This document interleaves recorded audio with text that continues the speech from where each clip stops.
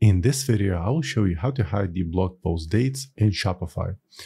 And for the purpose of this example, I'll be using Dawn theme. So first of all, uh, log into Shopify account and then click on the online store. Then look for Dawn theme and make sure it's updated to the latest version. And then select customize. Uh, once the editor loads, right at the top in drop down section, select blogs and then click default blog. Now on the left, under template, select blog posts. And right here, you should have an option to uh, basically uh, hide the date. So simply uncheck the box, show date. And as you can see, the date has disappeared. Now let's click save.